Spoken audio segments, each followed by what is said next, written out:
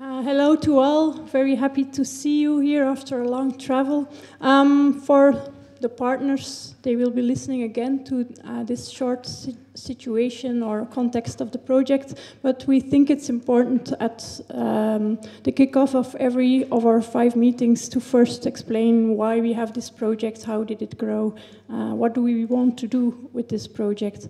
Um, actually, the roots of the project are in um, a network around the UNESCO 2003 Convention for the Safeguarding of Intangible Heritage.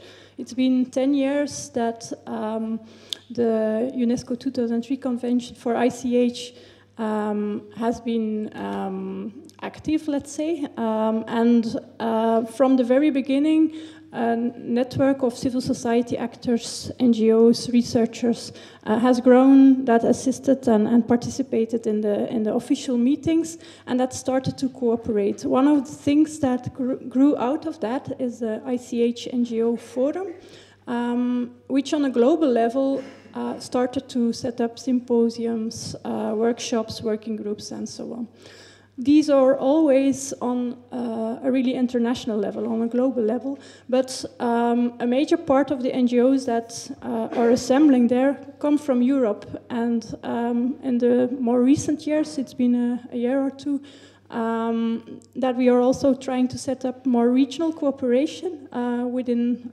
every region. So also for the European region, we have started that work. But even before, the regional networks, we were already sitting together with the, the NGOs from Europe, uh, talking about challenges we share or opportunities we see. And one of those was that uh, we have a strong heritage field in Europe in which in particular the museum field is a very strong partner um, and that we saw a lot of um, possibilities, uh, examples of trying to, to uh, experiment and explore the safeguarding or working around intangible heritage, but that there was actually not a platform where we, where we could exchange our uh, experiences, develop the practices, and also to connect the, the methodologies and, and the, the uh, professional language of uh, the one profession around museums with the growing profession uh, around uh, intangible heritage and the cooperation with the communities, groups, and individuals.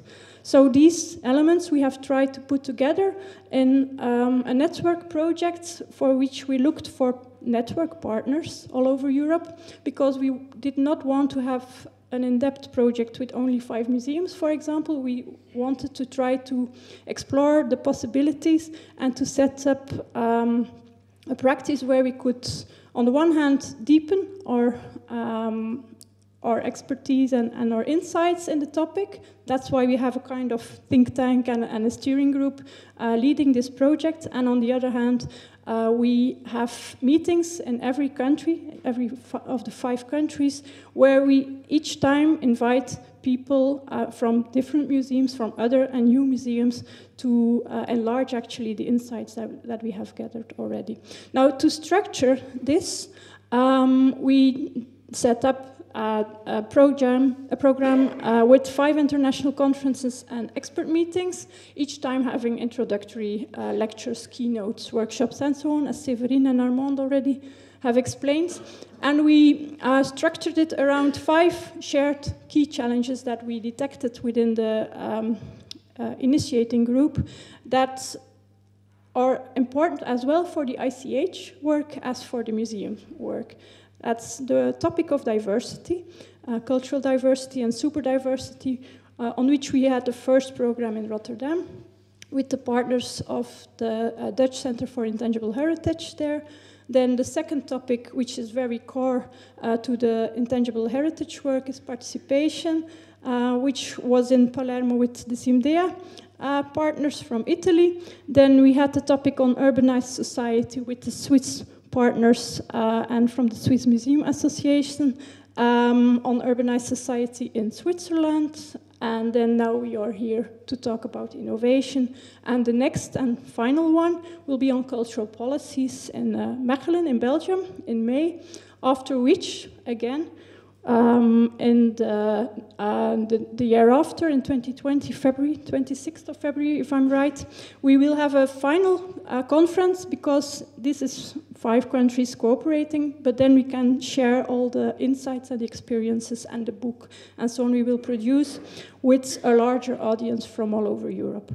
So we set up around five contemporary co-creation, we thought it would be very important in each project in each country also to have a kind of pilot to cooperate with uh, a group or community from intangible heritage in the surrounding of uh, the museum uh, that can come up them, themselves with a, with a proposal what they would like to do with the museum. And it's um, made in a method of co-creation, and each time uh, we share the experience during our meeting uh, in the country.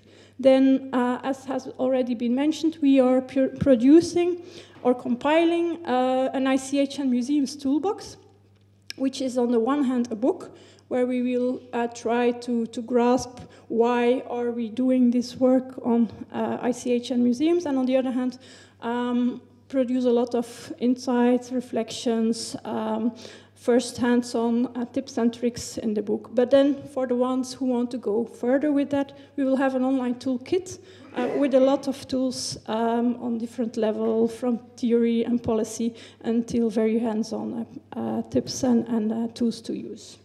Of course, every meeting has a lot of examples and ideas to share, which we also will uh, share online, and we are, are already sharing online. We have the uh, bibliography on ICH and museums, and as I already said, we will have the international conference where we will conclude the project. Um, well, I think that's the most important to say. Everything uh, is being documented online throughout the project. So if you are interested, you can keep uh, following the project over there and subscribe to the newsletter. But I think that most of the ones that are present here will already have done. And maybe I have one more thing to say because I'm here now, just for five minutes. But all the work is actually being done by my colleague Kia, who is over there, uh, and which I want to thank for the terrific work she does. 欢迎。